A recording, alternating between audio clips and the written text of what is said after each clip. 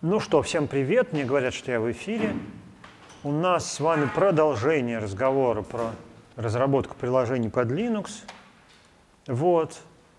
И сегодня в очередной, очередной трюк из серии «Впихнуть невпихуемое», вот, а, а именно разговор об отладке. Дело в том, что разговор об отладке требует на самом деле не то чтобы обширного, но довольно специфичного, специфического, как правильно сказать, объема знаний о том, что, собственно, вы отлаживаете. Вот. Соответственно, предполагается, что это опять-таки было у вас на, на курсе операционных систем, но что-то я подозреваю, что даже если оно, был, даже если оно было, оно для многих прошло не то чтобы совсем бесследно, но без особых, э, без особых без особой привязки к реал-лайфу. Вот. А между тем это самый что ни на есть реал-лайф суровый. Вот. Ну, чего тебе надо от меня, золотая рыбка? Возвращаясь к тем знаниям, которые нам сегодня понадобятся, но о которых у нас нет э, времени активно разговаривать, это о структуре исполняемого объекта и, библиотеки, и э, э, также shared object, то есть объекта уровня скомпилированного, но не скомпонованного, который называется ELF. ELF — это executable linkable формат, то есть вот ровно для этих двух целей приспособленный формат представления э, некоторых бинарных файлов, которые, как следует из названия, должны запускаться или как минимум компоноваться в виде библиотек с другими файлами. Вот. Дело в том, что сама тема про ELF, она довольно-таки э, развесистая. Вот. И э, вот видите, а, а, один, это, это только была структура заголовка, она еще не закончилась. Вот. Поэтому, именно поэтому на ее, на, по ее поводу можно очень долго разговаривать, у нас этого времени нету. Мы должны себе представлять, э, что вот этот бинарный файл на самом деле это не просто какие-то скомпилированные исходные тексты на, там, скажем, C в какой-то машинный код. Далеко нет. Мы с вами помним еще из курса OSEI, что даже в любом файле при запуске существует э, секция кода, секция, она называется текст, секция данных, там, возможно, секция стека, это зависит от архитектуры еще каких-то данных, секции глобальных данных и так далее. Так вот, ELF как раз описывает именно вот эту структуру, в которой есть э, всевозможные секции, эм, вот, видите, всевозможные секции, э, соответственно, определяет правила загрузки этих самых кусков нашей исполняемой программы в память или, библи... или разделяемой библиотеки в память. Вот. Значит, соответственно, когда мы говорим, что мы компилируем что-то, на самом деле мы, э, эм, э, на самом деле мы Э, как раз формируем вот такой вот файл, который предназначен для загрузки операционной системы и запуска. Вот. Да, в некоторых маргинальных случаях компиляция действительно на выходе выдаст просто бинарник, который кладется просто, значит, в мозг процессору и запускается, но это как раз именно что случай маргинальный, это случай работы с чистым железом, безо всякой операционной системы, вообще без всего. Такое тоже бывает, и об этом у нас даже есть у часто присутствующего на наших встречах удаленно сокращенца есть даже целый специальный курс по программированию для микроконтроллеров. Вот. Э, да, так вот, значит, э, э, этот самый ELF, это довольно сложный, как мы видели, формат, в котором содержится всякие нужные нам, всякая нужная нам информация. Ну, например, если мы возьмем какой-нибудь простой, простой файл, давайте мы его сразу скопипастим из лекции, этот простой файл, потому что там будет какой-то код на C, вот. Этот код на C мы просто будем, просто будем выполнять.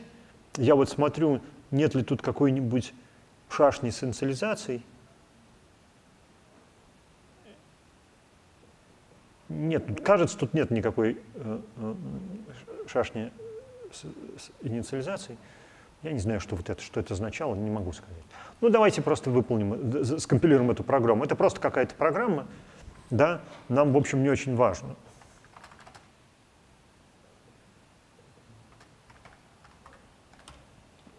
Вот.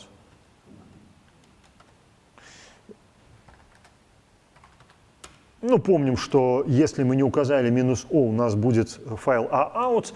Э, давайте скажем, что это за файл aout. Это и как раз ELF, 14-битный, специальным образом скомпилированный с э, опцией PE, Position Independent Executable. Вот. Dynamically linked, и загружается в память с помощью вот этой вот штуки. Собственно, вот эта штука, она ELF, собственно, и читает, размещает нужные секции в нужном месте в памяти и так далее. Давайте мы его вот что сделаем. Скомпилируем статически. Вот. Напоминаю фишку, что скомпилированный статический файл начинает занимать внезапно много мегабайтов, в данном случае 3 с копейками. Вот. Команда файл нам говорит, что это, конечно же, ELF, но статически собранный. Вот. И, соответственно, мы что можем сделать? Мы можем с помощью утилиты nm, которую мы уже видели, посмотреть его содержимое. Вот. Ну, тут будут присутствовать все, библи... все символы из библиотеки libc, которые были притянуты в силу статической компиляции. А если мы его скомпилируем все-таки динамически, то вот их будет существенно меньше. Да? Только те символы, которые видны в данном, э, в данном бинарнике, вот. при этом значит, некоторые из них будут находиться в состоянии undefined, вот. Например, printf, потому что он берется из библиотеки. Напоминаю, опять же, мы об этом говорили, что для того, чтобы понять, что за символ printf, нужно эту библиотеку подгрузить, динамически скомпоновать, найти там этот, эту, этот самый printf и дальше с ним что-то сделать. Соответственно, одного nm, который просто просматривает список имен, недостаточно определенных в данном файле, а нужно использовать другую утилиту, которая называется LDD, вот, которая э, умеет смотреть, в какие библиотеки еще мы ходим, с какими библиотеками мы еще скомпонованы. Вот. Ну, что еще можно сказать? Redelf. All. Э, прям все минус А. Тут будет много. Есть и более конкретные утилиты по исследованию структуры ELF файла. Вот, например, утилита readelf нам будет прям вообще все рассказывать. Она будет рассказывать, какой тип нам, э, нашего ельфа, краси, красиво, с разными, значит, с разными подробностями. Она будет рассказывать, сколько секций вообще у нас в этом бинарнике. Когда мы говорили, что их три, мы явно преуменьшали. Вот. Да, и это еще там нет субсекций, нет разделов а наоборот, нет группирования. Вот. Всевозможные заголовки. Дальше он парсить начинает уже сами, сами разделы. Причем, обратите внимание, он его даже превращает в инструкции. Вот какая, что, где. И даже вот. Из каких файлов какие символы взяты. Вот, видите? Вот. Ну и так дальше, и так дальше, вплоть до дизассемблера. Кажется, дизассемблер в нем тоже есть, а может быть он вот же в обждампе есть, не в редельфе, это не важно. Параллельно, значит, утилита, утилита redelf у нас, на, она, это часть обычных binutils, а objdump тоже часть binutils. Ну окей, э, вот, утилита objdump выполняет object dumper, он выполняет примерно ту же функцию, и у нее очень похожие ключи, только другие. Кажется, она не умеет по минус x all headers. Вот почему-то, вот, вот видимо, как-то... А вот. Но, в принципе, они примерно одну и ту же функцию выполняют. Вот он, значит, рассказывает про заголовок, он рассказывает про вот, это, вот, вот эти самые, вот это вот секции наши, да, вот эта вот версия B вот здесь указана, да, с какими, с какими конкретными версиями libc он должен работать. Вот, вот ваша табличка символов. Обратите внимание на то, что undefined все те символы, которые, которые мы дергаем, но которых нету. Ну и так дальше. Такая вот красивая штука. Значит, с вашего позволения, э, я заронил вашу э, в информационное пространство понимание того, что ELF состоит из каких-то кусков кода и имен этих кусков кода, в частности имен символов, которые мы э, предоставляем в программе. А вот дальше я туда забираться не буду, потому что, повторюсь, почти все, о чем мы говорим в этом семестре, это можно превратить в отдельный спецкурс полновесный. Вот. Эм, наша сегодняшняя тема – это отладка. В отладке есть как бы три требования, чтобы отладка была удобной. Требование первое. Они тут не по порядку. Вам нужно иметь исходные тексты. Если у вас не будет исходных текстов э, вашей программы, вы будете отлаживаться в ассемблерных инструкциях. Причем далеко не всегда очевидно, когда ассемблерная инструкция заканчивается, вернее так, когда э, блок ассемблерных инструкций, соответствующий со, э, некоторому оператору, заканчивается, начинается следующий. Это не очевидно где. Вот. Соответственно, если исходных текстов вашей программы нету, можно вполне себе отлаживаться, э, зная, зная ассемблер, вот. но, наверное, удобнее все-таки видеть исходный текст на C. При этом э, этот исходник может лежать черт знает где, ну, вот в простом случае, если вы отлаживаете вашу собственную программу, он лежит в том же каталоге, где вы запустили отладчик. Он оттуда этот самый файл забирает. Вот. Второе требование – это, конечно, отсутствие оптимизации, потому что когда вы что-то оптимизируете, вам отладчик может просто сказать «optimized out». Вот этот кусок, этот код C вообще отсутствует в бинарнике, потому что он не нужен. Он был недостижим, или мы, значит, Э, выяснилось, что там только статические значения переменных, поэтому все заранее вычислено, скомпилировано уже в таком виде и так далее. Или даже цикл развернут, потому что бывает, что с высоким уровнем оптимизации э, оптимизатор, некоторые статически известные, да, примитивную рекурсию он разворачивает в последовательность команд. Вот, эм, значит, доступ к исходникам да, вот э, люди говорят, что дизассемблер может дизассемблировать код из другой секции, если вы ему это скажете сделать.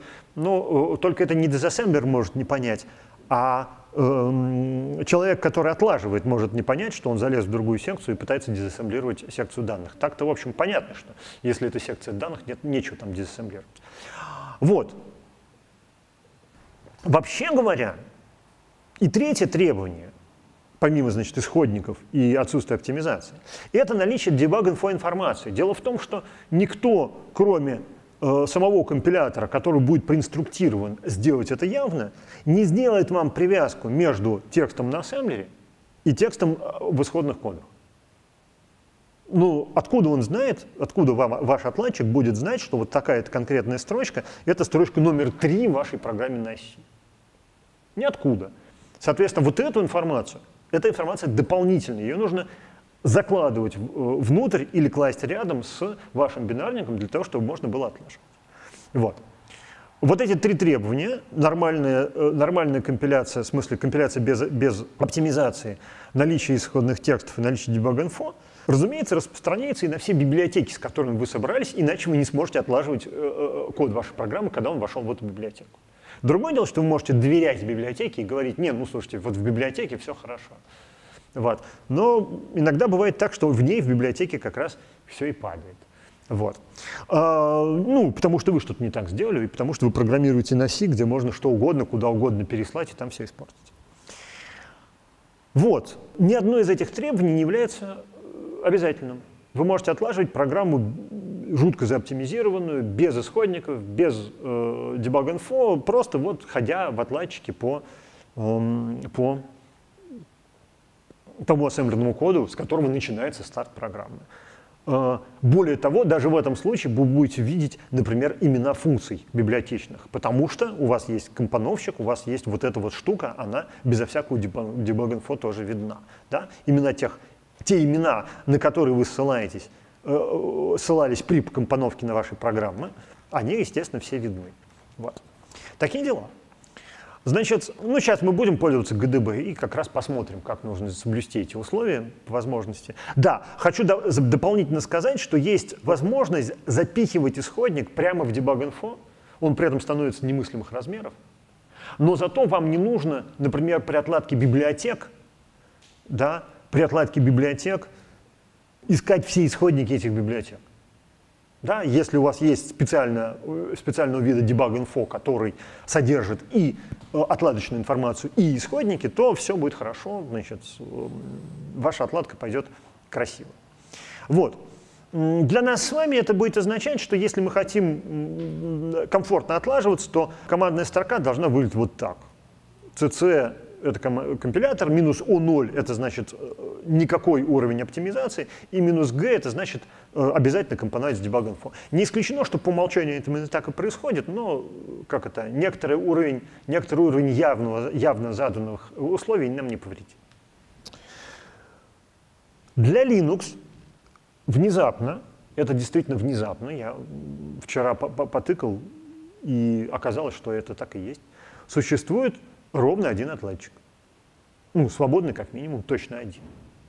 То есть раньше разные э, люди типа IBM, которые выпускали свой собственный, или Intel, Intel, которые выпускали свой собственный компилятор, вместе с ним предоставляли еще и отладчик, но отладч... и компилятор Intel был не свободный, и отладчик был не свободный, и куда-то это все делось, и, в общем, с горизонта Linux оно исчезло. Существует ровно один отладчик, он называется GDB, GNU Debugger, он бесконечно мощный. Мы, э, как уже было сказано, впихивая вот это не впихиваемое сегодня, попытаемся просто краешком зацепить его, а на самом деле он очень большой.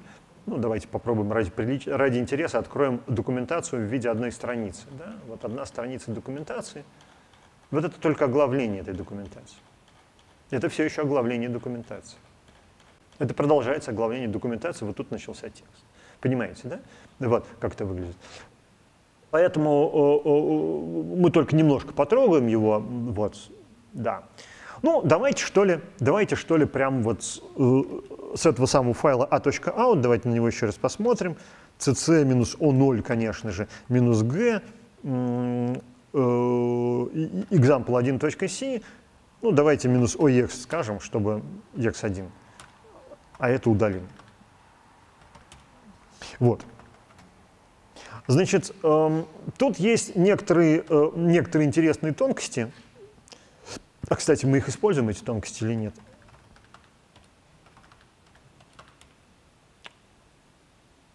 Не используем. Жалко. Э, некоторые интересные тонкости стоят в том, что вы не можете написать вот так вот. Сразу давайте про них расскажу, чтобы потом уже к этому не возвращаться. Эм, если вы передаете параметры командной строки в вашей программе, а это, естественно, очень часто в Linux, да, вот в, ну, не знаю, там arg, v, argv, сейчас, да просто argc, да, просто argc, d parameters, c, ну, давайте уж ради... Давайте его выведем ради интереса. Да. Последний параметр. Вот. Э, значит, зачем я это... Зачем...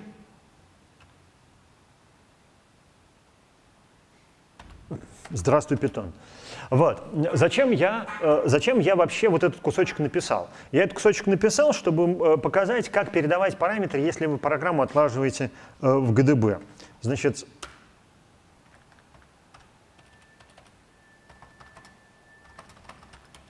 вот она говорит, что их 4, и последний, backslash n забыл написать, последний вот тут вот, вот этот, да, эм, вот. А если их нету, то она скажет, что их ноль.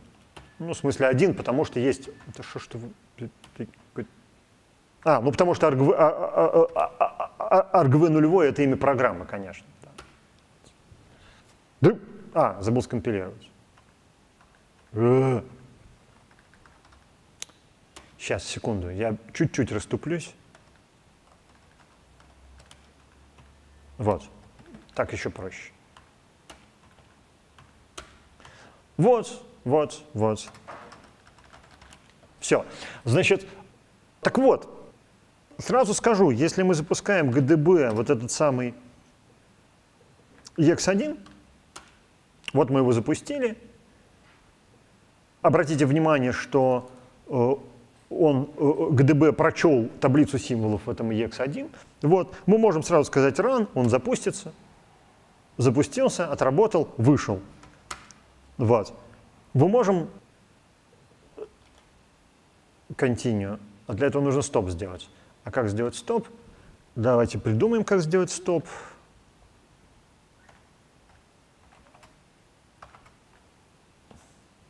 Ой. Да не make, а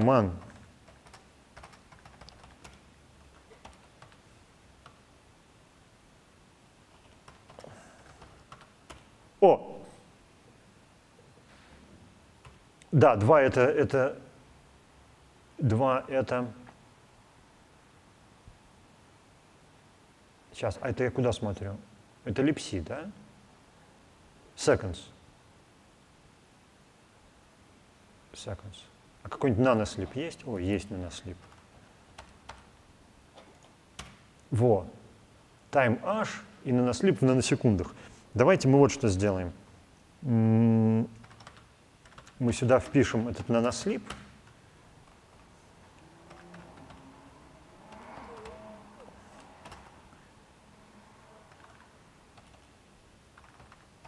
Вот. Зачем я это делаю? Я сейчас попытаюсь... Человек, который, человек, который э, э, э считает, что дизассемблер не понимает э, по имени Виктор Парус, что дизассемблер не понимает, где секция данных, а где секция кода, также не знает, где у нас лекции лежат. В, опи в описании к данному эфиру есть ссылка на сайт лекций. Давайте мы здесь вот поставим этот нанослип, time, нанослип. Наносекунды это сколько? Миллион? Что тебе не нравится?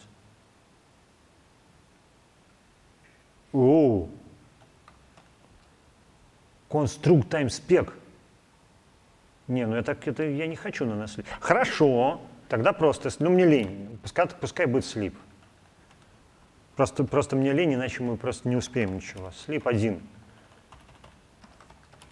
Вот. Такой, эм, значит, костыль начинающего программиста на оси где-то возникли гонки, что-то падает, он вставляет слип один, чтобы, значит, эти гонки выиграть или, наоборот, проиграть. Вот. Если вы видите программу, в которой написано слип один, как это сказать, а, а почему она? Она не, не в тайме, что ли, лежит? Unist она лежит. Нам не нужен таймаш, нам нужен Unist Вот. Если видите программу, которую время от времени вот такие слипы, подозревайте ее подозревайте ее в том, что люди не хотят отлаживать э, э, э, condition в ней. Вот. Я вот сейчас написал слип один, и мне самому стало неловко. Но он, нам, он мне совершенно для другого нужен, поэтому у меня есть оправдание.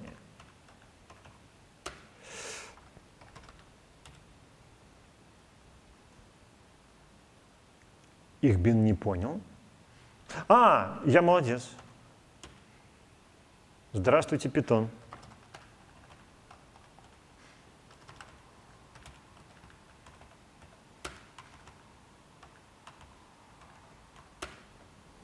Вот. Очень хорошо. Вот давайте запустим это под отладчиком, наконец. Вот. Я сейчас нажму Ctrl-C. Как известно, Ctrl-C — это посылка сигнала SIGINT в терминал. И внезапно мы остановились в выполнении, причем не просто остановились в выполнении, а остановились в выполнении нашей программы внутри библиотеки под названием, бог его знает какой, видимо, липси, в функции POSIX slipc, э, в файле под названием библиотеки slipc, вот, собственно, в вызове нанослипа, через который этот слип на самом деле эмулируется. Вот, вот, вот клок нанослип. Вот конкретно здесь мы сидим вызвалась вот такая вот, вот такая вот функция с вот такими жуткими параметрами. Вместо нас это все было сделано. Вот я именно от этого отказался, я не хотел эти параметры. Вот. BT это означает backtrace. Это стек вызовов. Да? Наша программа main, main вызвала sleep. Обратите внимание, что sleep это макрос, на самом деле вызывается функция бла-бла sleep. Эта функция бла-бла-слип вызвала функцию бла-бла-ги, бла-бла нанослип, даже тут бла-бла-бла кажется. Эта функция gi вызвала gi clock нанослип, а gi clock нанослип он как раз вот и получил в этот момент, когда мы выполняли 71-ю строчку, это gi clock нанослип, и нам пришел сигент. Мы можем посмотреть вот этот кусочек нашего э, э ихнего, ихнего gi нанослипа. Вот. Э, в котором мы остановились. Потому что в действительности debug-info от всех библиотек, с которыми мы работаем, существует. Я чуть позже расскажу, как его добыть э, в вашем сборочном окружении, чтобы тоже уметь так делать. Вот. Мы можем что сделать? Мы можем просто сказать continue, вот, и снова нажать Ctrl-C. Или сказать C и снова, и снова нажать Ctrl-C. C это тоже continue. Вот. Как видите, оно падает, в смысле, мы останавливаем всегда в одном и том же месте, когда оно висит на этом слипе. Вот. Мы можем сказать up, и он нас вот в этом backtrace е подвинет на один фрейм вверх и посмотреть, из какого фрейма мы попали в тот фрейм. Можно сказать еще раз up. L — это list. Это уже, это уже текст функции, в которой мы находимся. Да? Вот, вот тут. Можно сказать еще раз up, и мы попадем в наш main. Вот он. Вот. Эм, что еще можно сделать? Down. Все. Э, можно сказать, э, выполнять до... О, ну, можно сказать просто next и он будет по очереди выполнять каждую строчку. Вот это, он, видите, он уже все в нашем цикле. Sleep 1, for, sleep 1 и так далее. Вместо next можно сказать step. Step — это значит зайти внутрь вызываемой функции. Вот смотрите. Ой, нет, в print я не хочу заходить. Step, step, step. А, exit, все там кончился счетчик. Ну хорошо, давайте еще раз. Run, yes, Ctrl-C. Так, сейчас э, я вспомню, как until. Специальная команда until выполнит вам кусок кода до ретерна. Очень удобно, чтобы выйти из очередного фрейма. Оп, и вот мы оказались Оп, и вот мы оказались уже в исходном фрейме. Давайте еще раз покажу это. Ой, until я сказал. Вот. Давайте еще раз это покажу, чтобы было видно. Значит, запускаем, ой, нет, не это, запускаем э, GDB программу, говорим run, в какой-то момент останавливаемся, наблюдаем backtrace из четырех вложенных э, фреймов и говорим until. Опс, наблюдаем backtrace из трех вложенных фреймов из двух. Снова из двух, там, видимо, что-то соптимизировалось. А вот теперь уже из одного. Да? Значит, мы довыполнялись до вот этого вызова. Вот. И вот здесь мы можем сказать next, next, next, упс, sleep 1. Я, кстати, видите, э, не нажимаю букву N, он просто выполняет предыдущую команду. Next, next. Вот. И вот теперь сейчас я скажу next, а здесь я скажу step. Step — и вот сейчас я вангую, что мы войдем внутрь функции sleep по, по команде step. О, и правда, мы вошли в, в, внутрь функции sleep. Вот она. Вот мы посмотрели назад. Вот, вот, вот эта функция sleep. Вот мы посмотрели вперед. Вот. И дальше можно делать снова next. Вот он сходил к наслипу. Вот. А можно было сказать степ и забраться внутрь еще и этой функции. Собственно говоря, э, вот этот пример, который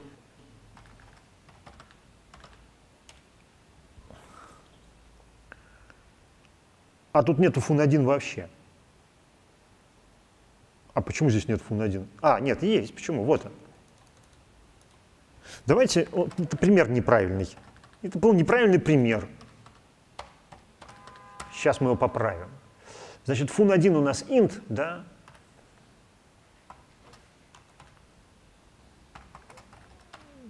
Соответственно, мы здесь напишем res равняется фун1 от n плюс i. Вот. А здесь уже сделаем, здесь сделаем рез. Я думаю, что ничего не поменяется от этого, но зато мы вот в этом месте нажмем step и войдем в стек, в, в, в frame. И это будет удобно. Вот. Значит, пока мы это делаем, э, э, э, я вспоминаю, зачем я вот эти две строчки добавил. Я их добавил, не объяснил, зачем. Если мы хотим запустить, вот скажем, вот так вот, то мы не можем запустить вот так. Видите, GDB считает вот эти штуки параметрами GDB. И если мы скажем run, мы внезапно увидим, что ни одного параметра не было передано нашей программе. Соответственно, мы должны либо сказать, либо сказать, э, да, yes, yes, yes, выйди, либо сказать вот так вот, и сказать set args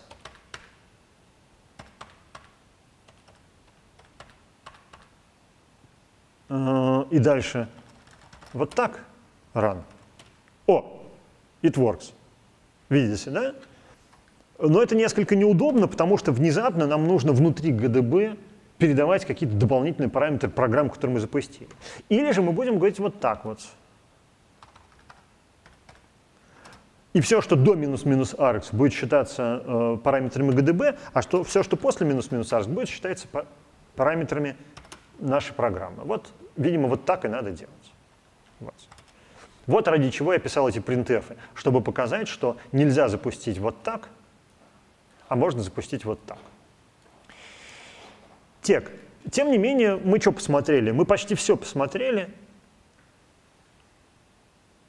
Я, кстати, соврал, не until, а finish. Until — это э, до следующего оператора сишного, а finish — это до ретерна. Сейчас покажу.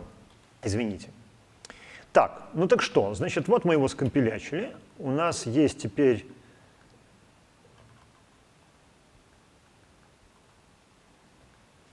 Вот мы его запустили, да? Вот. Вот мы его запустили, сказали run. Вот мы его остановили. Ой. Остановили. Вот. Для того, чтобы выйти из текущего э, фрейма, надо не until говорить, а finish, я вас обманул. Вот, видите, он сразу видит, э, э, э, он сразу показывает, какой return value, потому что он дошел до return. И у нас backtrace сократился на один. Да? Фин. Вот.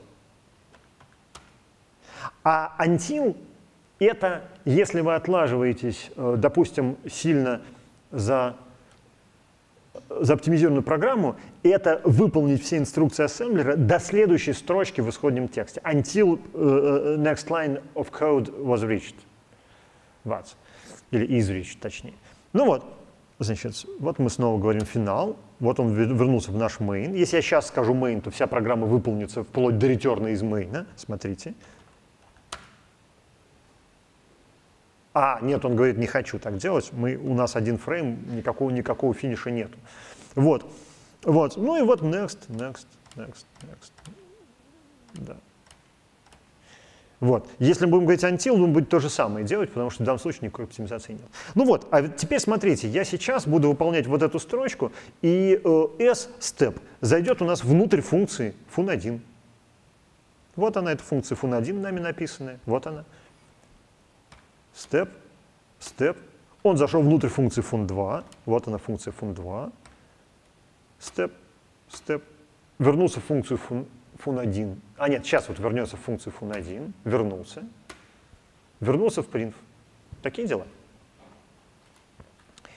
Так, следующий акт морализонского балета — это брейкпоинты. Вот сейчас я специально модифицировал работу нашего, нашей программы таким образом, что она вейтит слепит, вернее, и мы успеваем нажать Ctrl-C, прервать ее работу. Вот. Это, конечно же, не всегда возможно, потому что мало ли что вы там отлаживаете. Вот. И поэтому давайте мы сейчас сделаем по-другому. Давайте мы вот это закомментируем, вот, чтобы оно нам не мешало, не раздражало своей висячестью. Вот.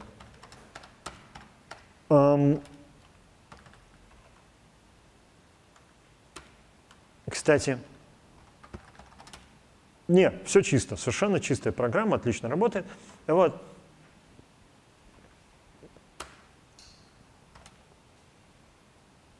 А, и слип тоже уберем. На самом деле нет, он должен закомментировать. Извините.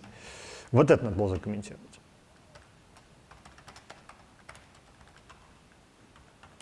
Вот. Да. О, как поступать в этом случае, если мы хотим отлаживаться? А очень легко мы можем от, э, поставить так называемую точку останова, в которой будет указано, в каком месте и при каком условии выполнение программы прекращать. Ну, не прекращать, а приостанавливать, как если бы мы там э, нажали Ctrl-C, только там не Ctrl-C, а какое-то другое произойдет событие. Как это сделать? Ну вот у нас есть наша, наша функция, наша, наша, наша программа вся. Давайте поставим точку остановы, ну не знаю, вот в 21 строчке, B21.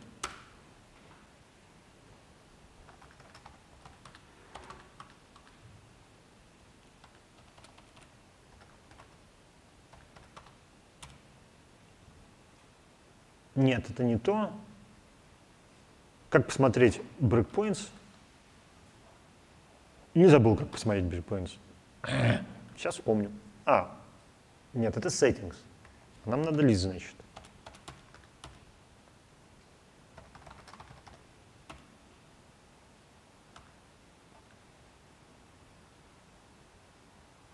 Тоже нет. Лист — это лист, это вот это вот. А как же будет показать брейкпоинт-то? Так, давайте гуглить. Я забыл, правда. А почему я забыл, непонятно, знал же. Ну и ладно. Инфо, что ли, брейкпоинт? Да, да, да. Давайте пробовать.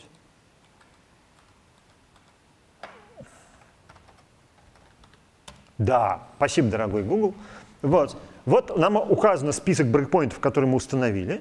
Если мы сейчас скажем run, то мы остановимся в файле x1.c на 21 строчке. Опа, вот этот брейкпоинт сработал.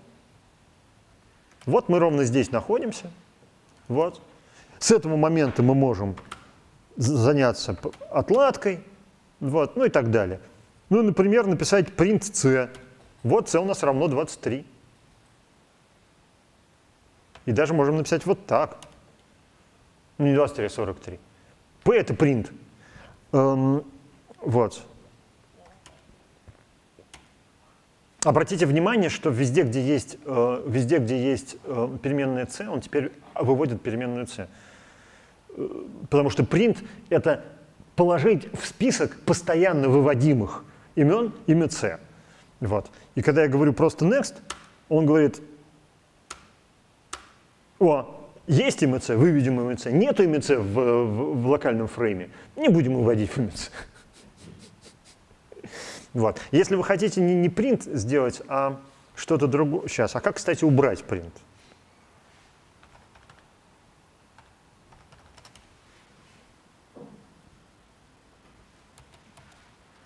А, дел, конечно. Delete. Не помню, кстати.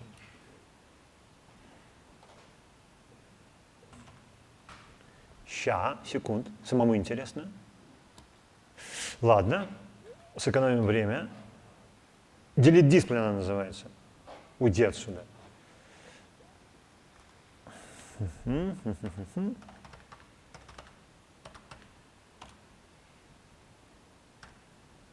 С. О! Вот. Ну вот. Да, и теперь она у нас не будет показывать этот самый. Нет, будет.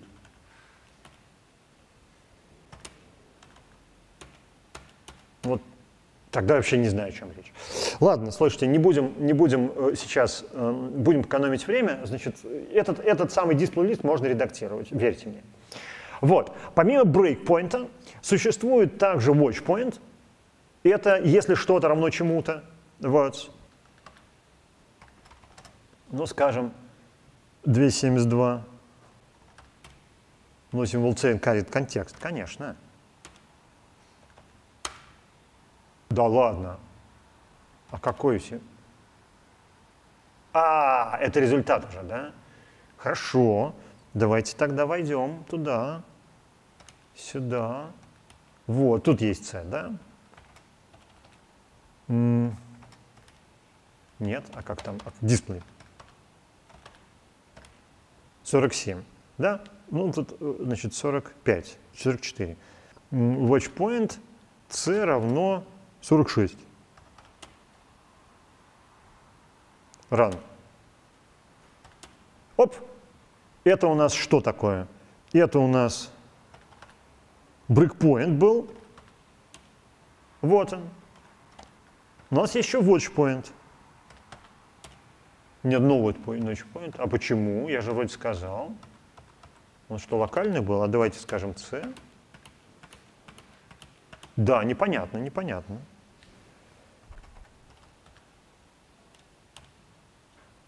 Во, удалим все брейкпоинты.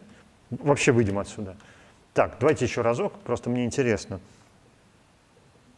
Watchpoint 45, так, так не сработает, да? Breakpoint fun1 run. Вот.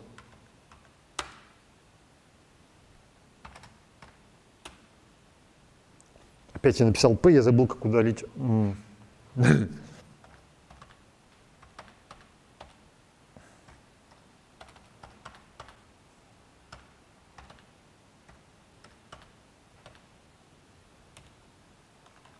Вот, давайте продолжим.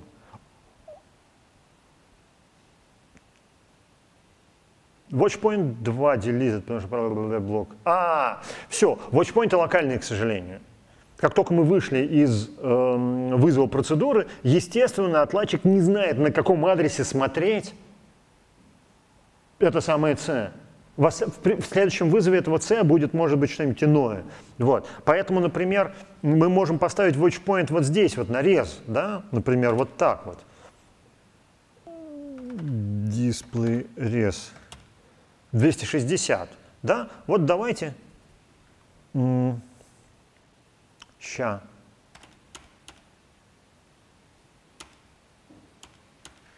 двести шестьдесят шесть да, вот давайте там сколько будет, 272, watchpoint res, res равняется 272, да. О, вот он сработал watchpoint. Вот. Также бывают еще э, э, штуки под названием catchpoint. Это в случае, если вы пишете C++, на C++, и, соответственно, у вас вываливаются исключения, или если у вас syscall вызывается, он тоже, он тоже является хэтчпоинтом. Вот.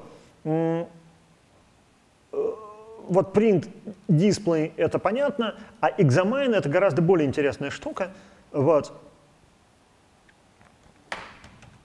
Давайте попробуем опять же break main, continue, ну run значит. Вот. Э, давайте попробуем где-нибудь вот тут вот э, сказать а, тут у нас строчек нет, мы не посмотрим, мы экзамен не, не увидим. Ну ладно. Значит, экзамен — это просмотр куска памяти, начиная с некоторого адреса, в определенном формате. Вот, x. Довольно удобная штука. Вот. x, допустим, ну не знаю, там. А, ну пока тут ничего нету. Вот. x, допустим, ampersand n. Ну не n, а n. Вот. Э, обратите внимание, что examine параметр — это адрес. Ну, в данном случае это адрес переменной n, которая у нас там где-то определена. Но также можно и i посмотреть.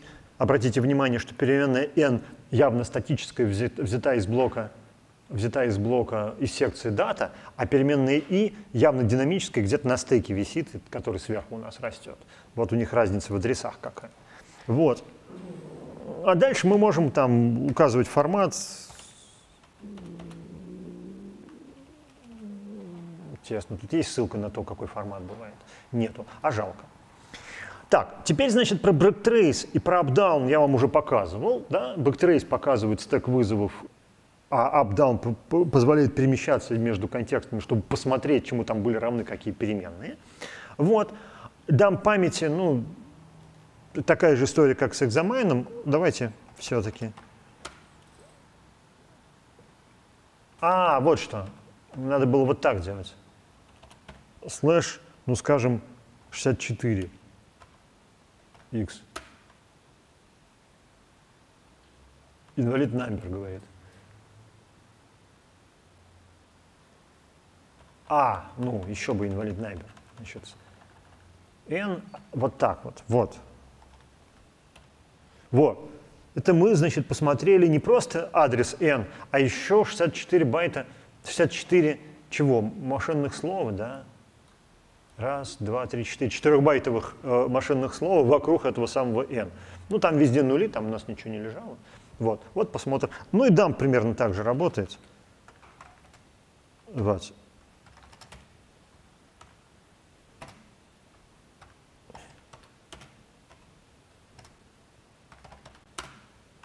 Старт-стоп. Ну, короче, если вы уже знаете, с какого адреса по какой смотреть, кстати, мы знаем, с какого адреса по какой смотреть. Да. И стоп. Хорошо. Что тебе не нравится? А, там еще файл. Окей, бог с ним, с файлом. Это значит, надо в память писать, да? Вообще-то так должно работать, но не знаю. Почему-то... А, все. Он, он, он не хочет туда писать, он не хочет оттуда писать. Короче, он говорит, что в, этом, в эту память мы лазить не можем. Короче, ладно, значит, э, э, это как раз нас, нам вот этот мои, мои, мой тупеж э, намекает на то, что нужно хорошо знать архитектуру, на которую вы отлаживаетесь, чтобы с такими вещами работать. Вот, мы занимаемся сейчас не архитектурой, все вот это. Значит, что еще умеет, что еще умеет ГДБ, про что мы сейчас даже и потрогать не сможем – Reverse execution. Вообще-то ГДБ умеет запоминать контексты целиком, значение памяти и переменных. И можно делать unexecute, то есть а, а, перемещаться к предыдущему контексту, который был до того, как вы выполнили очередную инструкцию. Вот.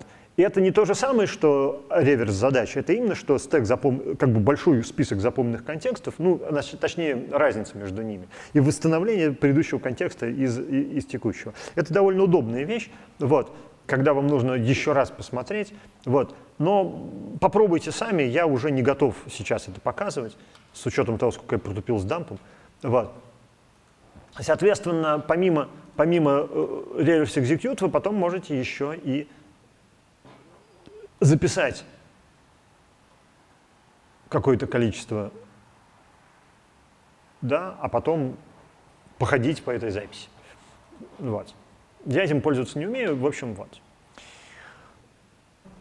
Значит, с вот этим примером мы уже походили по нему backtrace ом, да, все уже, значит, это, это, это, эту задачу мы выполнили. Теперь давайте немножко займемся хакерством. Прям хакерством, хакерством, прям как оно есть чистое, чистой воды хакерством, ничем иным.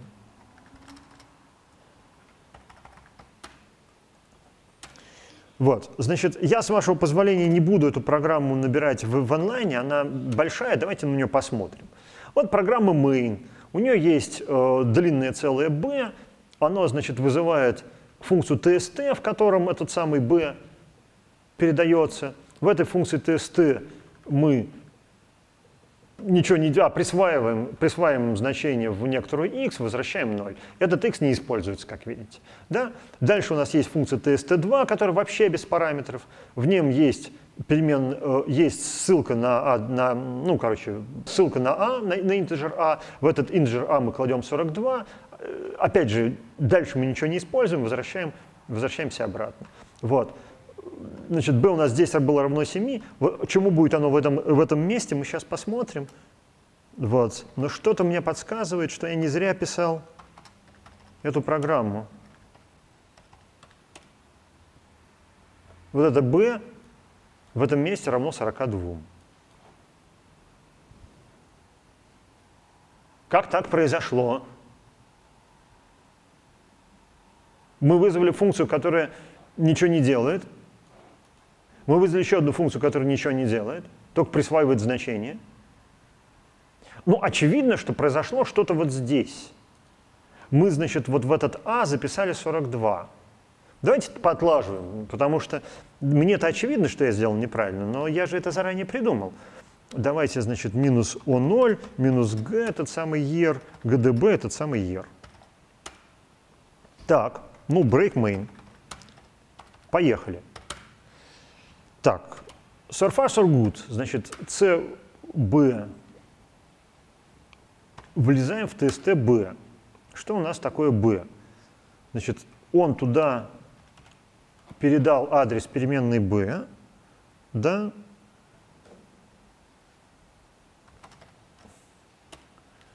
а уже нету p, да, p. Вот вполне себе адрес откуда-то из э, э этого самого, из э, стекфрейма, да, это локальная переменная, она где-то на стеке лежит у нас, все хорошо.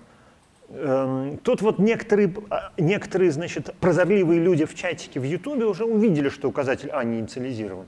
Но мы же хотим посмотреть, как это получилось. Вот, как, как у нас 42 получилось. Ну вот, значит, что мы делаем с этим? Мы записываем туда, кажется, 0. Ой, да, мы просто, мы просто записали здесь в x некоторое значение p. Вот, ну, в общем, кстати, x у нас, оу,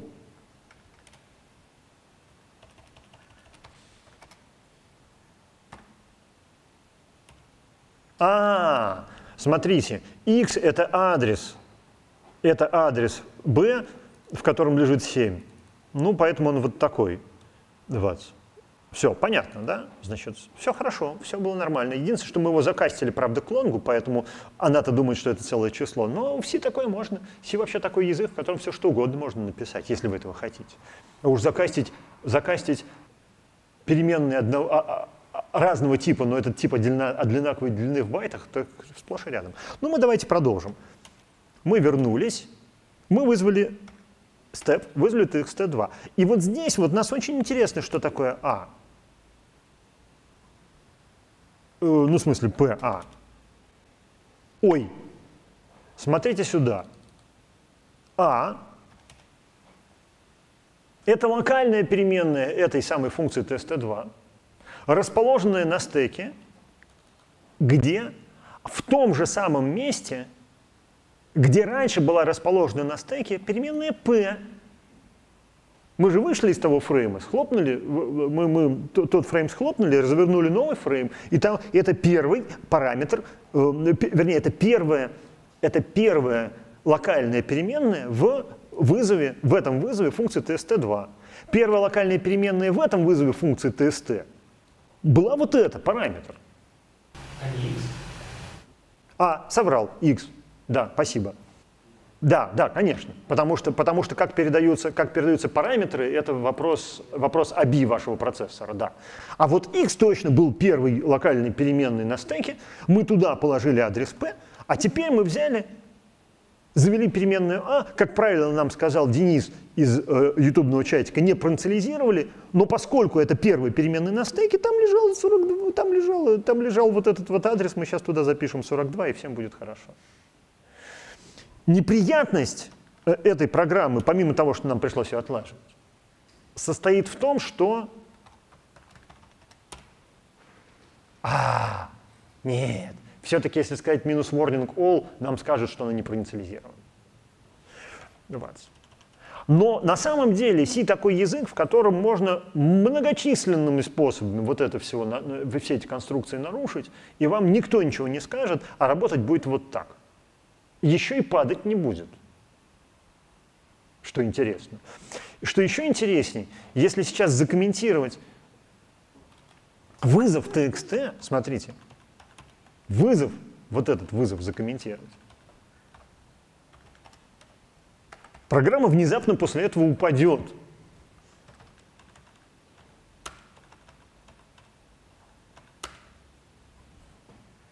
Почему? Потому что у нас вот здесь вот будет какой-то мусор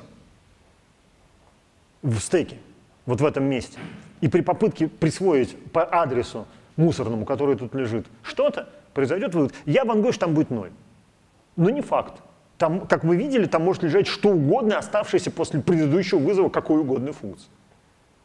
Вот. Представьте себе, что зловредный хакер туда прописал конкретный, хороший, важный адрес, чтобы прямо туда записать что-нибудь такое, вот, что он хотел туда записать. Оно взяло и записало. Вот.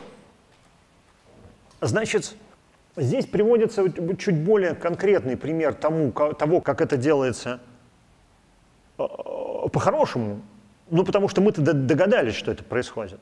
Вот. Мы увидели, что вот, этот, вот это равно вот этому. Да? А, а здесь приводится пример, как, это, как с этим справиться, так сказать, в состоянии незнания. Ну, давайте это сделаем. Да, значит, во-первых, вернем, вернем вот это, во-вторых, скомпилируем, в-третьих, запустим GDB, в-четвертых, скажем bmain, поехали. Значит, next, вот. Значит, b у нас локальная переменная, она на стеке. Давайте посмотрим. print slash x ampersand b. Вот он. Вот. Ну или можно было вот так сказать.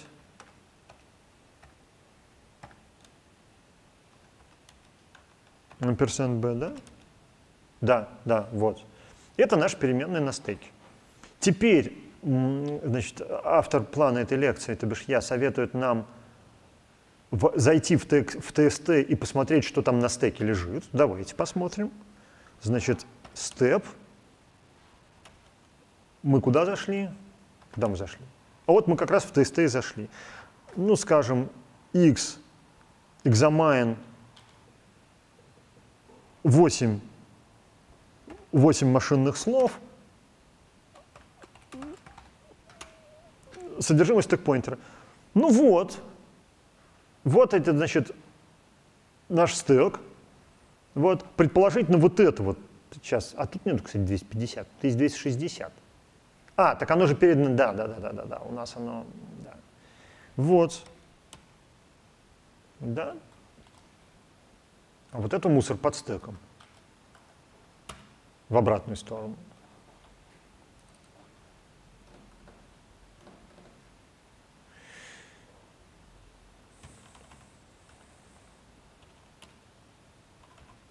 Вот.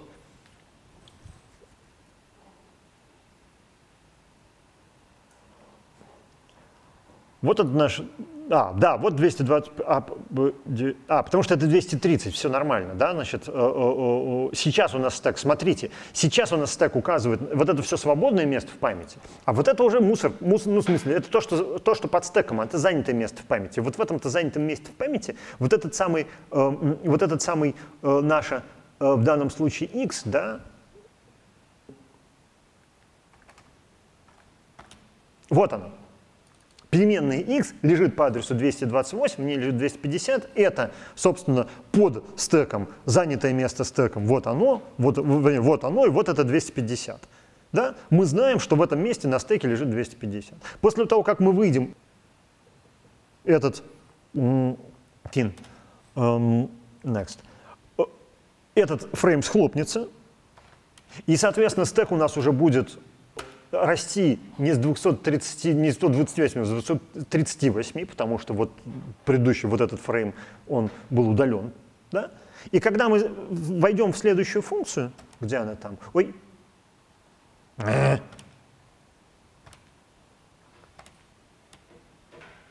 Вот, когда мы войдем в следующую функцию и посмотрим на стек, мы увидим, что стек начинается с того же самого места, и там лежит этот 250, который мы не инициализировали, и сейчас мы его пропишем, и все, все, все, все, значит, вот все вот эти. Вот такие дела. Значит, э, так предполагается отлаживаться, если мы не обнаружили вот этого случайного. Да? Мы видим, что вот здесь мусор, да, и что в этот мусор мы что-то пишем. Это явно не тот мусор, который мы хотим. Ну вот. Теперь относительно debug.info. А, относительно devel-версии пакетов, которую я, кажется, тут ничего не говорил про devel-версии пакетов. Давайте мы посмотрим. Давайте я впишу это в план, чтобы не забыть. Вот. Я обещал вам рассказать про девел версии пакетов. Ну вот давайте у БББМ, БММ, где вот, вот, вот, нет, вот. Вот, это мы записываем и отвечаем на этот вопрос.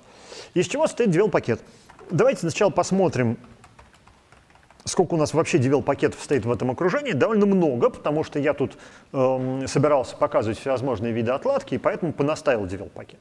Ну, самый простой способ, не знаю, incursus devel какой-нибудь, да, вот, чтобы было понятно вообще, о чем идет есть, речь. Lib incursus incursus э, L либо курсис в девил. О, из чего состоит девил пакет? Он состоит из каких-то библиотек.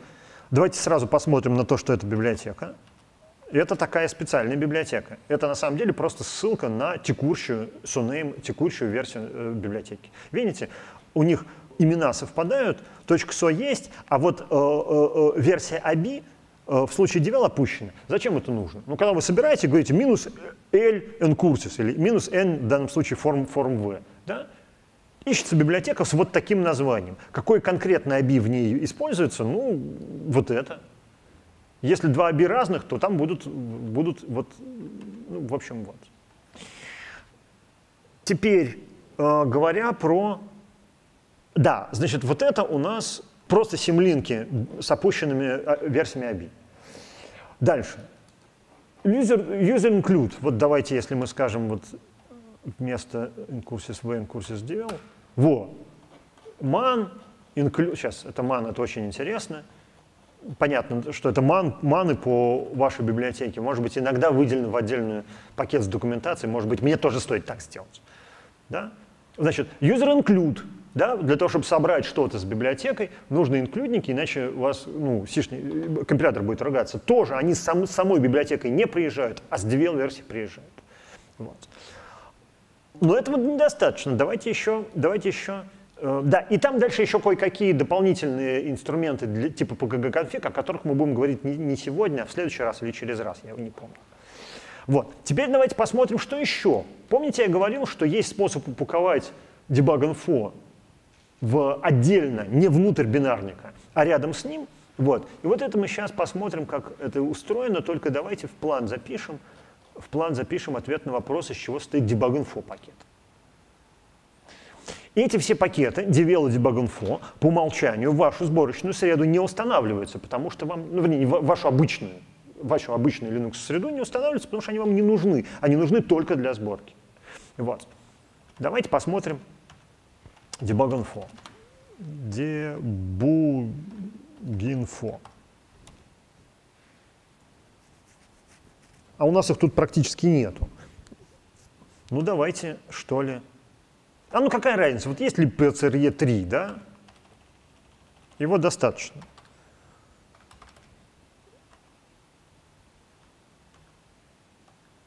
Сейчас lib PCRE3 DVL. Я сказал DVL.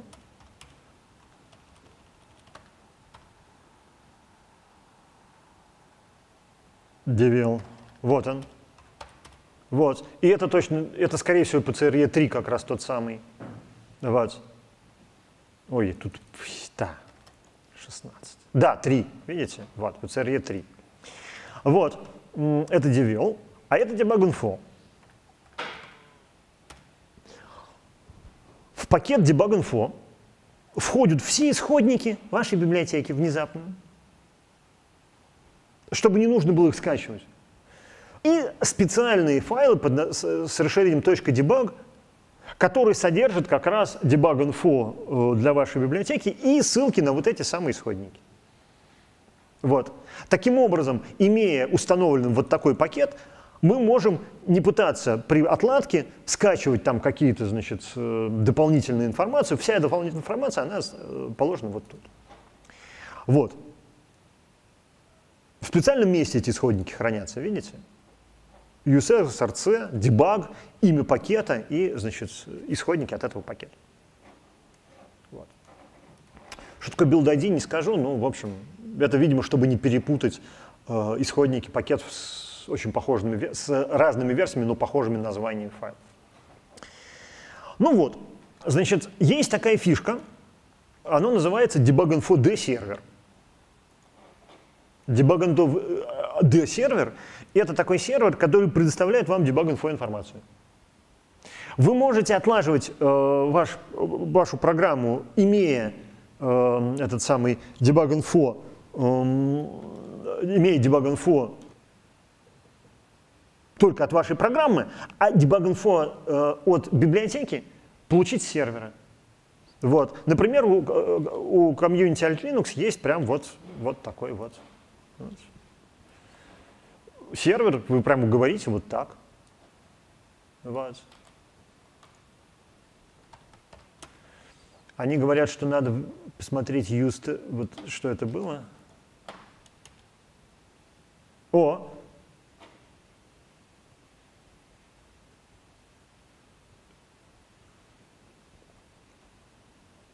Он посмотрел говорит, какие вам нужны еще.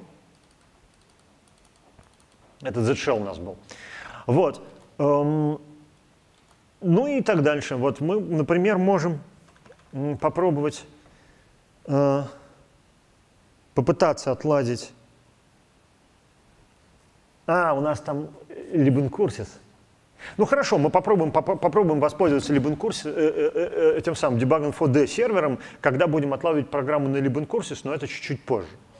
Ну вот, соответственно, если я не забуду, я еще вернусь к этому, но у нас есть еще парочка важных тем. Кажется, да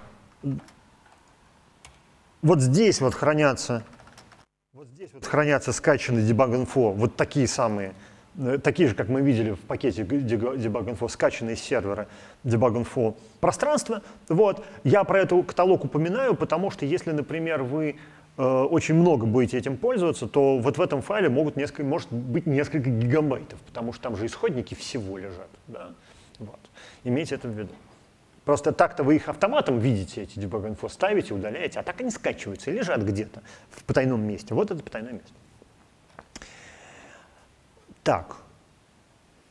Здесь перечислено какое-то количество текстов вспомогательных на тему, как пользоваться ГДБ. Вот это чит-шит по ГДБ, его можно распечатать, сложить гармошкой. Он, видите, так сделан, что вы печатаете на э, э, листе, складываете гар... на двух сторон, с, двух, с двух сторон, складываете гармошкой, и так вот в нем, значит, вот. Тут, правда, формат немножко не А4, а скорее такой летер, да, но какой есть. Вот. И тут все, все, все, все потихонечку, все потихонечку программки, все, все потихонечку команды написаны. Вот. Это чтобы в ман не ходить каждый раз. Вот. Э, дальше, значит, я Давайте проверим валидность ссылок. Че? Это как, простите? А, понятно, человека забанили на Хабре. А вот тут все нормально, вот, да. Тут вот есть. Значит, вот это вот забанили человек на Хабре. Ну ладно. Учебник по ГДБ есть. Где это такой? А вот тут опять точка .html, да? Да, давайте тоже поправим. Вот ведь я забуду же. Значит, что поправим? Во-первых, вот здесь вот человека забанили на хабре. Вот, во-вторых, э, вот здесь вот gdb.html, кажется, да? Нет, вот здесь вот gdb.html. Вот. В-третьих, есть один момент, который, эм, который я бы хотел с вами обсудить, вот, который стоит в следующем. На самом деле в современных Linux вас вообще могут, могут не разрешить запускать GDB. Во. Вот из-за этого. Значит, да, э, из-за того, что системный вызов ptrace, с помощью которого ГДБ, собственно, занимается отладкой, в определенных ситуациях может оказаться небезопасным, с помощью него можно получить доступ к не своей памяти. Вот. Причем это с, логика самого ptrace, вы не можете это, вы не можете это э, защитить, поэтому э, для в потенциально небезопасных окружениях эту штуку просто отключают. Давайте посмотрим, давайте посмотрим, что у нас э, вот здесь вот. Это, естественно, можно делать только от рута, понятное дело. Вот. Эм.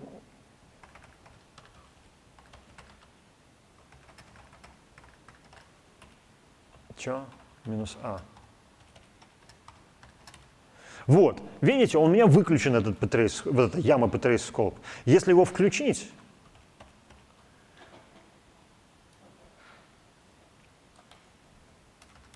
вот, то внезапно ГДБ может перестать работать. Либо так может перестать работать.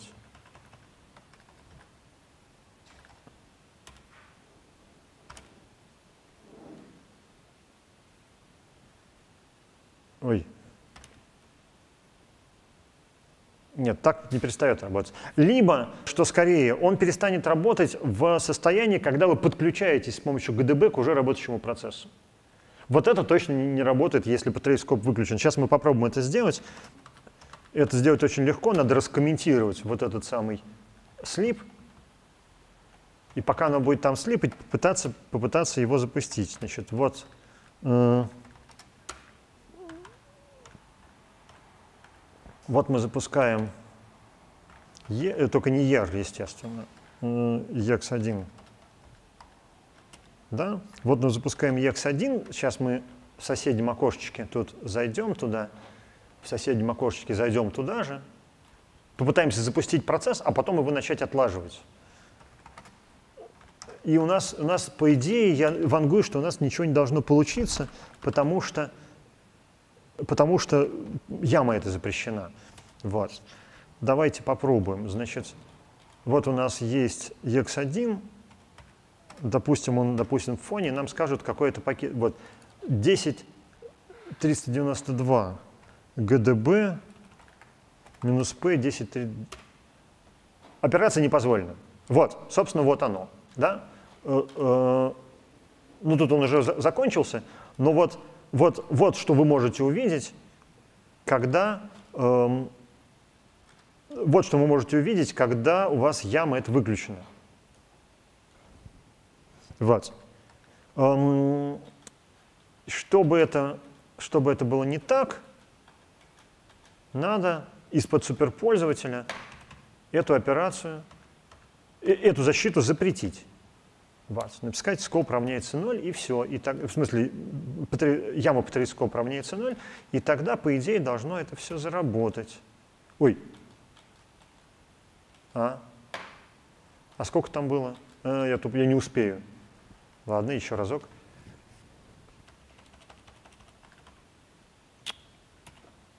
Эм, 104, 27.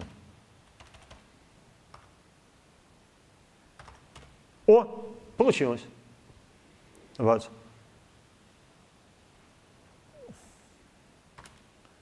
Ну и дальше оно там, вот я сказал, continue, оно продолжает работать. Ну вот, и, и, ну вот, и в этот момент, когда мы к нему подключились, оно приостанавливается, ну и дальше все, все как у людей.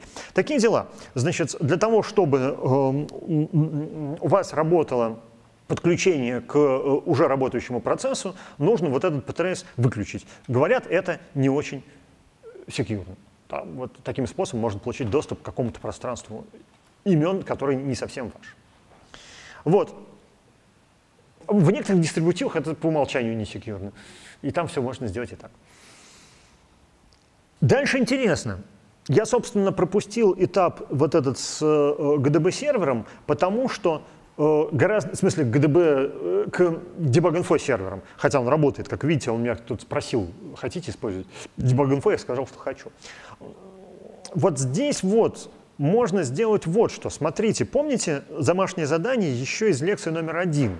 Так, отсюда можно выходить. Домашнее задание еще из лекции номер один.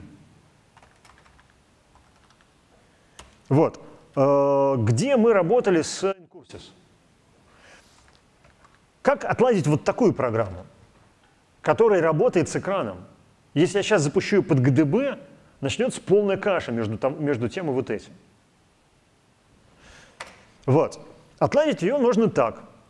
Можно запустить GDB-сервер, а в другом окне, которое подключено к, той же, к, тому же, к, тому же, к той же машине, запустить клиент к этому серверу и вполне себе отлаживаться. Давайте это сделаем. GDB-сервер, remote, это значит, что управление будет происходить удаленно по сети, потому что там еще можно, например, кумпорт указать. Дальше, localhost, ну скажем, раз, два, три, четыре, пять. А, и что, что отлаживаем? Вот это окошечко. Вин. Нет? Вот так, что ли? Да нет. А, потому что нет вина, да?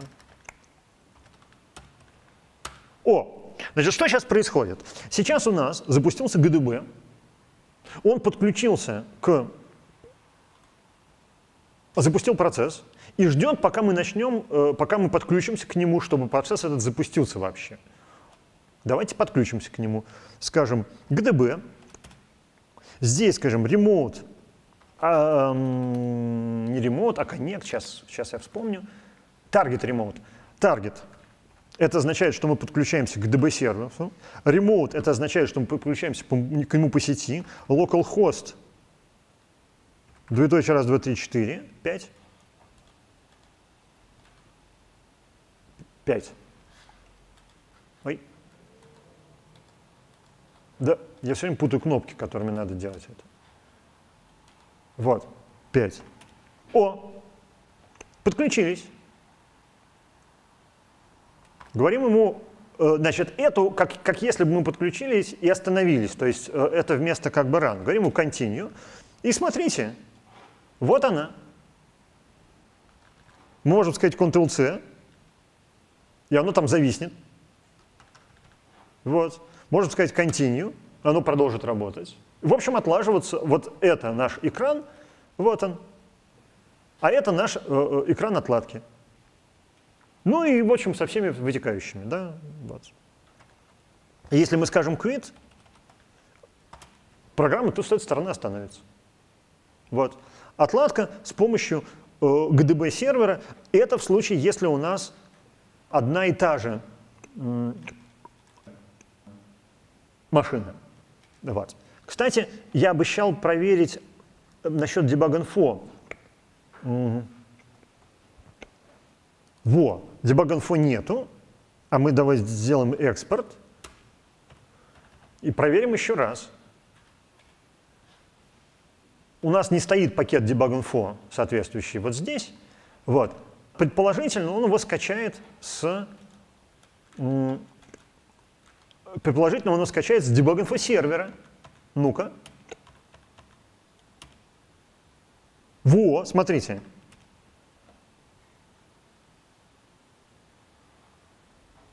Ну-ка.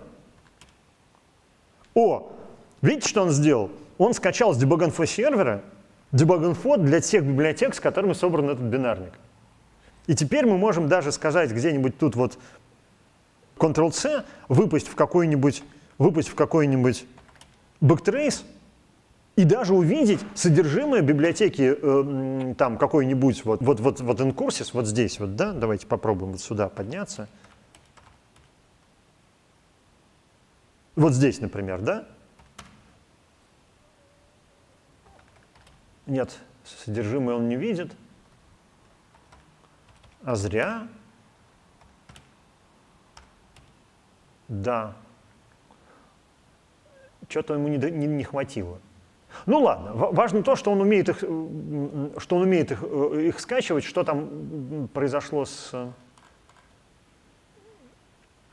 debug.info, это надо пожаловаться монтейнеру, то бишь мне. Возможно, я неправильно его сформулировал. Ну, извините, ладно. Маленький, маленький, маленький, э, как это, немножко кринжухи. Последняя вещь, что я должен сегодня рассказать, потерпите 5 минут тогда, пожалуйста, потому что на это будет домашнее задание. Это сценарий для ГДБ. А, как обычно, э, у нас, если вы помните, я предупреждал в начале курса, много всего в домашнем задании будет базироваться на чтении документации. В частности, мы сейчас напишем простейший сценарий для ГДБ, но документацию, но, но, но э, как писать сценарий для ГДБ, будете смотреть вот по этим статьям. Сценарий для ГДБ – это когда ГДБ выполняет некий скрипт, написанный на языке ГДБ, в котором есть всякие функции, выполняющиеся в разные моменты. Вот. Давайте сейчас сделаем обратно перейдем вот этот дебагинг, вот у нас есть этот EX1, да, GDB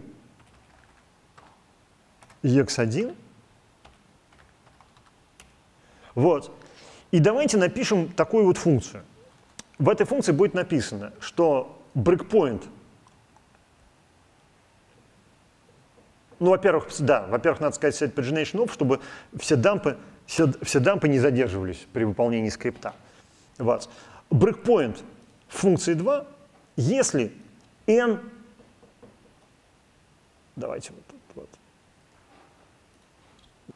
вот, вот, вот, вот и все описание, все, вот ровно так это и делается.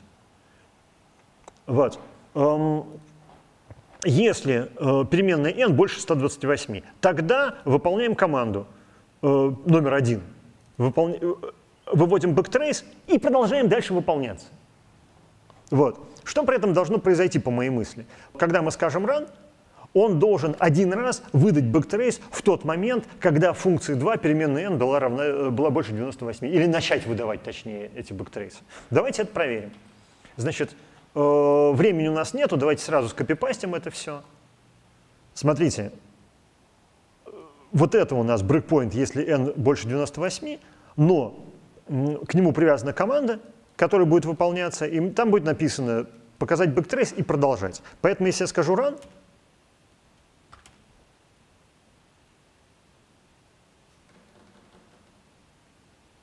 Ну давай, давай, давай, давай, давай, давай, давай. О! Видите? В тот момент, когда э, вот это условие стало срабатывать, произошел breakpoint, но к этому breakpoint у была привязана функция, которая бы, а, говорила бы ровно следующее. Напишите backtrace и продолжайте. Она написала бэктрейс и продолжит. Эм, последний пример, я от вас отстаю, просто он уже такой, поверьте мне на слово, что это такой пример. Потому что вот программа на Qt, пример на C++, в которой используется QString. QString — это страшный ужасный объект Qt, который где-то в недрах себя имеет, э, имеет стринги, но на самом деле он очень хитрый, удобный, их можно складывать, нельзя, не надо заботиться о памяти, там, о чистке мусора и все такое. Страшный объект. Если вы попытаетесь его, эту программу отладить,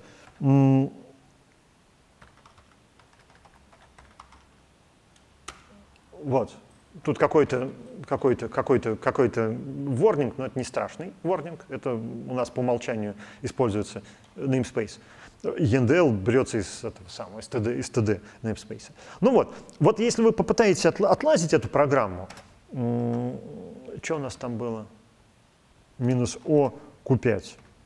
Вот. ГДБ, я сказал ГДБ, Q5. Да,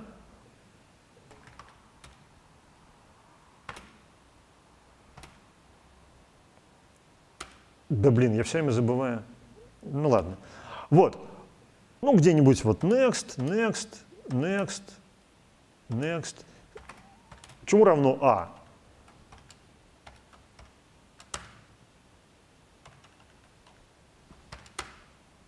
Ну, короче, мы не знаем, чему равно а.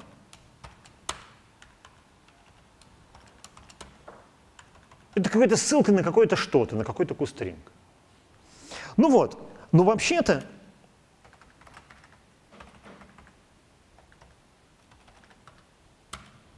можно написать функцию, примерно вот такую, которая умеет работать с кустрингами, на GDB ее написать.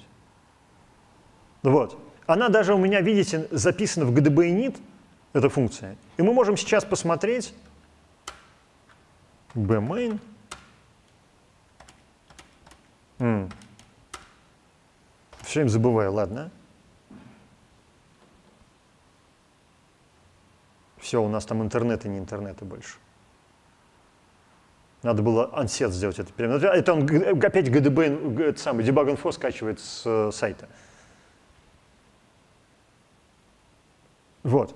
Не, не. Вот. Теперь давайте посмотрим, как она там называлась функция.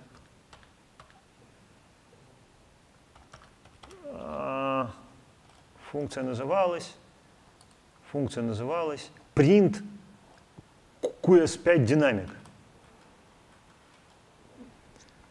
Print QS5 динамик. Нет, динамик — это динамический файл. А. Опа. Вот. Все, значит, это что, кратко, что я э, хотел вам сегодня рассказать. Теперь домашка. К сожалению, как я уже сказал, домашка... А, да, я еще хотел сказать, что сценарий на ГДБ можно писать на питоне. Так, на всякий случай, если что, можно. Не обязательно писать вот на этом. Можно писать на питоне. Так вот, домашка будет стоять следующее. Значит, добиться того, чтобы у вас нормально работал дебаг-инфо во всех пирогах, в вашем, в вашем сборочном окружении. Вот. Посмотреть вот всякие, э, э, э, о кого есть, обновить свои навыки работы с ГДБ. ГДБ командный дебаггер, никаких кнопочек, ничего. Вот. Написать простейшую программу, которая будет заниматься, это такая программа-генератор, который, значит, как в питоне range работает, вот он без параметров выводит help, с одним параметром выводит в столбик последовательность, с двумя, ну, короче, очень простую программу. Вот. И написать GDM-сценарии, которые запускают этот range с, с нужными параметрами и выводят э, содержимое переменных, отвечающих за начало, конец, шаг и текущее значение диапазона. Эм, строгого э, формата у этого вывода нету. Вот. И другой, значит, рейндж. Вот. При этом в этом рейнже уже нужно присвоить, сделать условный оператор, чтобы выводился только для... Э, вот эта фигня вводилась только для этих элементов. Обратите внимание, это просто больше-меньше. Вот. Да? Вот не, не, то, не, не от, 100 до, от минус 100 до 100. От минус 100 до 100 вы запускаете программу, а ГДБ информацию вы вводите только вот э, от 28 до 35. Все. И написать make файл, в котором будут, соответственно, будет цель тест, который, собственно, вызывает вот эту штуку. Имейте в виду, что ГДБ, э, когда он работает, выводит очень много лишней информации. Вот. И если написать просто, значит, вот этот скрипт, он будет на экран спамить дикое количество всего. Ну, мы видели, сколько он всего спамит на экран. Вот. Я написал так. Я э, говорил прям эхо. Бля-бля-бля. И принт. Ну вот, и грепал потом только эти строки, которые на блям-блям-блям начинаются. Вот. Я, может быть, сам еще раз перепишу решение этой домашки, просто в прошлый раз оно было так устроено, что нечего было светить. И просто покажу, как это работает. Вот. Собственно, все. Да? Сами скрипты очень простые. Скрипты вот существенно проще, чем вот это. Да? Это просто, значит, некоторый, некоторый условный оператор в конкретной строчке вашей программы, на самом деле. Вот. Все. Значит, если вам покажется, что это слишком легко, напишите настоящий, э, настоящий итератор на C, чтобы, значит, вот эти функции работали так, как тут написано. Вот. Это не обязательно. Вы можете сделать обычный цикл. Вы можете решить вот так. Все. На этом все. Если есть вопросы, задавайте. Мы, я выжрал у вас кучу времени, видимо, чем-то увлекся. А, я тупил. Я тупил над опцией dump. Если нет вопросов, то всем спасибо. В следующий раз у нас давайте посмотрим, что. Вот, э, чтобы было понятно. Так, Тут какие-то регулярные выражения. Я не уверен, что у нас будут регулярные выражения в следующий раз. Э, напоминаю, что регулярные выражения — это такая тема, по которой я читаю лекцию, если не подготовился к очередной лекции. Вот. Хотя